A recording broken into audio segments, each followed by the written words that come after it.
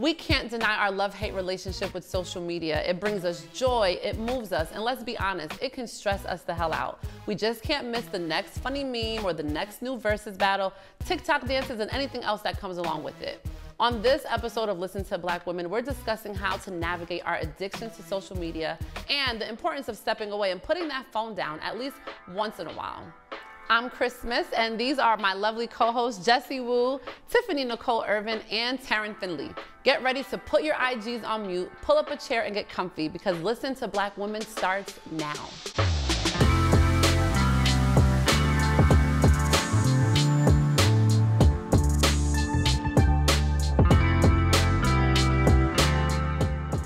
Women have been at the center of culture since the beginning of time. We start trends, we do dance crazes, and serve all the looks. But with the new trending video popping up every minute, we just can't keep up with all of it. Which leads me to our question of the day. Is your online FOMO slowly killing you? According to Eventbrite, FOMO is experienced by 69% of millennials, while Mashable reports that 56% of social media users are experiencing FOMO as we speak. Are we keeping it real about our social media addictions and what it's doing to us mentally? Let's have some real talk, ladies.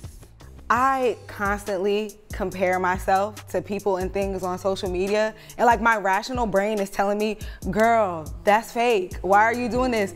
But I can't help it. It's literally a sickness. Yeah. yeah. And when you see it constantly, when yes. you're scrolling, whether you're doom scrolling or like just mindlessly looking on through your IG feed, Twitter or whatever, like yeah. that gets into you. You know, even if you're not necessarily trying to absorb all of that sub subconsciously, you know, it really does something where you do start to compare. You do start to experience these, you know, thoughts of uh, anxiety, depression, things like that. Yeah.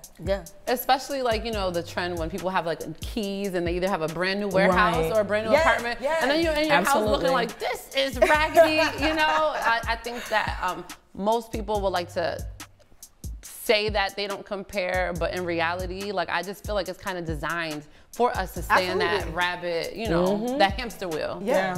What you think? I, I feel like I can relate to that, but then also with me, like I have a bigger following. Mm. So sometimes when you are like a public figure, people have so many opinions about you. Mm. So one thing I do, like if I don't follow you, you can't tag me in anything mm. because people will tag you in all types of foolishness. People will, you know, and when you keep seeing certain things, like like you said, it does like you internalize it. it, yeah. it you internalize yeah. it. You know, like just like just the other day, like even on my way here today, I had a comment. Somebody was like, "Man, you're so ugly," what? you know, and like it was under a picture. It was under a video where I do like my skincare routine, and I remember like five years ago when I first started building my following and like if I would go online with no makeup on and stuff and people would call me ugly and I was like dang I didn't know I was mm. ugly until like Instagram told me so then it's like you will find yourself trying to unugly yourself. Mm. So mm. then you're seeing mm. all these other images of pretty girls. Well, what do I do to be that? So what, do I go get lip injections? Do I go get lipo? Do I go get, mm. a, you know, a BBL? Like what do I do to become one of those girls? And so like, yeah, it's, that's my relationship with it. So one thing I do, like I said, you cannot tag me. You cannot like tag me in anything if I don't follow you. And another thing I try to do, sometimes I fail, but I try not to look at uh, social media until afternoon mm, every yeah. day. So like in the morning, like whatever my routine is, like read my Bible or you know journal or whatever business I have to handle. Maybe go to the gym, but I try not to look at social media until afternoon. Yeah, like Jessie, I literally just adopted that this year, and it's done wonders for my mental health. Like I wake up before I even like check in with anybody else's opinions. I check in with myself because I found that like I really was looking to social media for validation without without even like knowing Realizing that I was doing it. that. And it's hard to like kind of have that healthy relationship when like all of our jobs are tied to social media. Yeah. So like when 100%. you aren't, you know, on, you do feel like you're missing out. You do yeah. feel like, you know, there are missed opportunities, missed news, missed, you know, all of these things. Like you really have to check that. Yeah.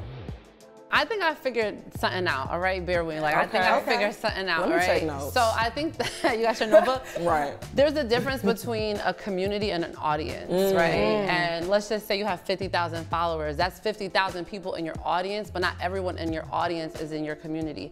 So I think the sooner you figure out who your niche is, right? Like if you're talking to everyone, you're really talking to no one. And I think Yeah. what messes people up is we show up online and we try to say, you know, what can I post that everybody will like? Right. But it's not Yeah. about what everybody will like. Right. Who are you talking to? Because when you're trying to appeal to everyone, you're basically creating your own prison. But when you're talking to your people, they're gonna talk back. So I do Yeah. feel like there's a difference between like building an audience and attracting Mm. your people. And I found for myself, the more real I am, the more I attract my people, the more I even say polarizing stuff that's like really how I feel, it gets the people away who aren't with it and it really calls to the people who are with it. And now when I get online, it's just it's more of a freedom feeling versus like a nervous feeling. Because it's true, like Jesse said, the more followers you do get, it is kind like it's different when you have 10 followers. You say whatever. Exactly. But if you're getting Nobody online, you have a million followers. Yeah. It's kind of like uh, it's like a little bit of stage fright. So I think once people start using social media to really like in an intentional way Mm. versus like for the validation, it does Mm-hmm. feel better. Yeah.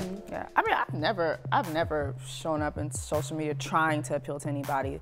That's Yeah. one thing about me. It's like I'm myself. So if you don't like it, you don't like it. I'm following is free, girl. Yeah, it's like Yeah. that's that's That what black it is. man And Like- who you see on social media is who you get in person. Yeah. I think the only difference is when you see me in person. I think some, sometimes people will see my social media and they think when they meet me, I'm gonna be like, like Give going off the walls and doing stand Like you've worked with me for years. Like Yeah. I'm not like that. Like all, I come to work, I just do my job.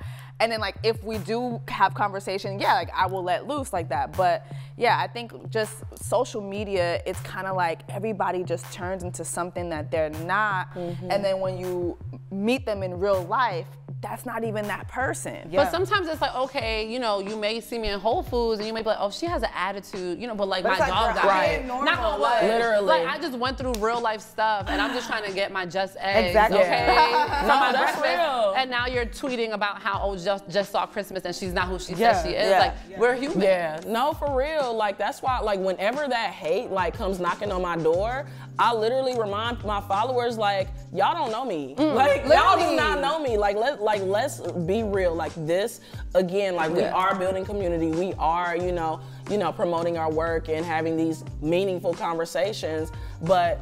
There has to be a separation, a healthy separation of who you are as like Yeah. a person versus who you are online. Boundaries. How do you find that balance though? Because I'll be honest, when it comes to, like you said before, you're constantly trying to find that balance between, all right, I have to be on social media right now because I have to get this money. And then mm-hmm. at the same time, it's like, I just sat on Instagram and scrolled for three hours Yeah. straight when I could have been being productive. Yeah. And sometimes I I keep it real. Like I'll I'll struggle with that balance. And you got to wake up in the morning time, and the first thing you're doing is looking at your phone.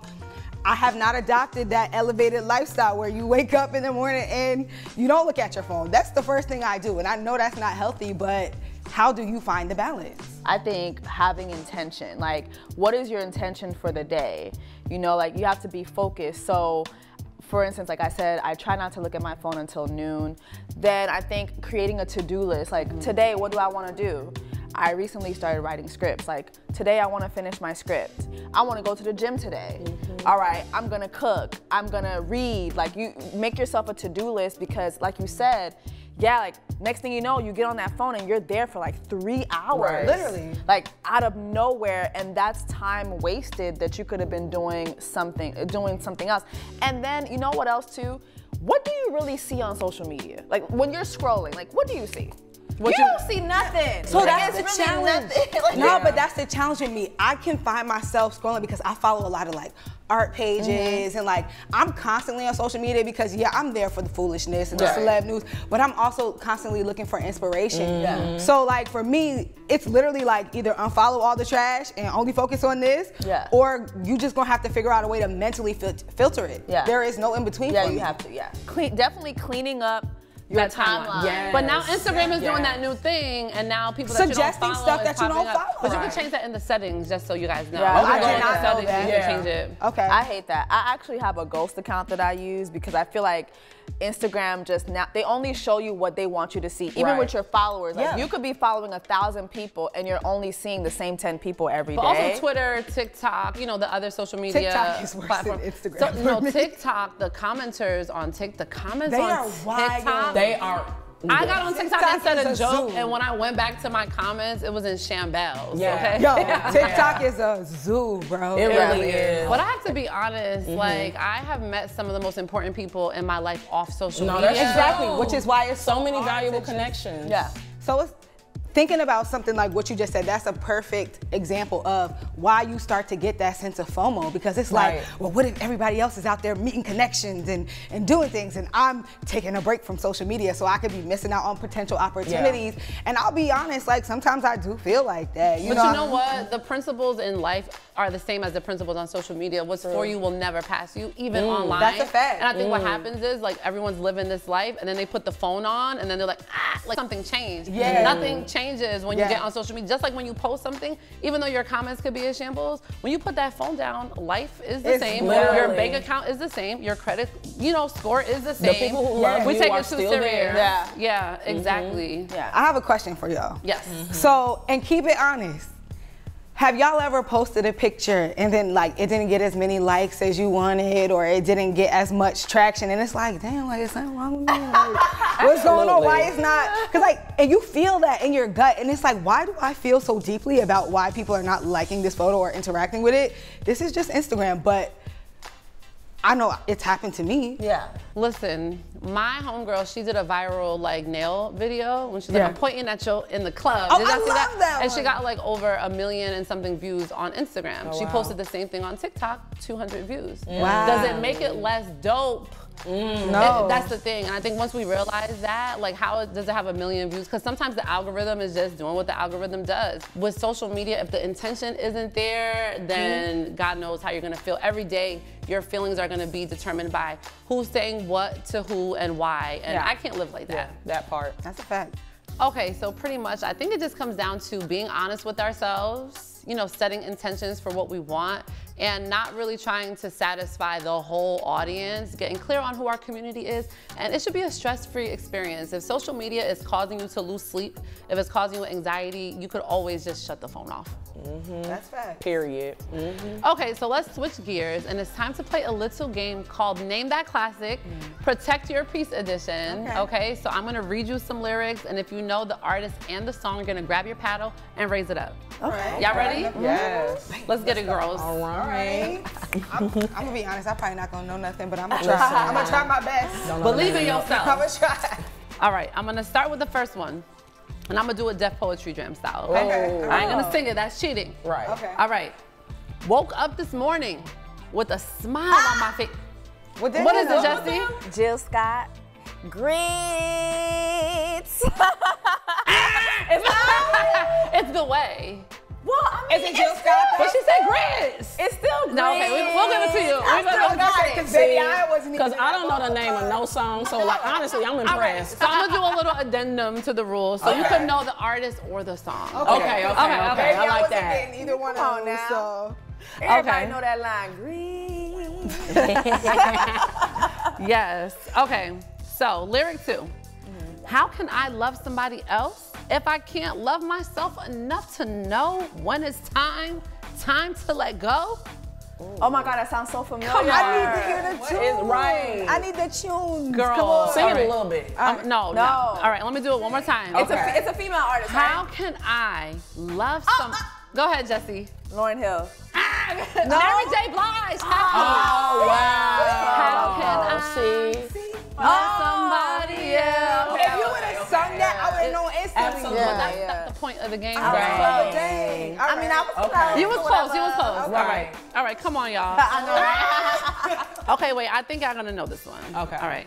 I do my hair toss, check my nails, Baby, okay, Taryn was That's first. Lizzo. Come Lizzo. on. Yeah. Good as hell. Mm-hmm. Yes, Lizzo. I mean, I feel good that I at least knew one. I get, I wasn't fast enough, but I knew it. Gotta be quicker than Gotta be that. quicker than that. That's Lizzo and With her that flute. wrist. Okay, we got two more. Okay. All right. Trash. So, safe to take a step out. Mm. Get some air now. Let your edge out.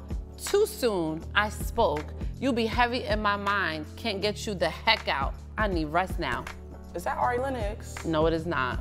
It is SZA Good Days. Are you? Oh, oh duh. You know you can't understand what she's saying. okay. You know damn well, SZA speaks in cursive. Like, You come know. on now. I mean, But we, but you know what? We, We should have love known. her. We should have known that. I We should have Yeah, known that. yeah, we should. We should have known that. Mm-hmm. I don't like this game. I need tunes. No, I think I think that you're gonna get this last one. I think Okay. we, y'all all gonna get this last Okay. one. All- All right, let's let her raise her hand. No, no, no, but I, I may still not know it, so don't even do that. All right, ready?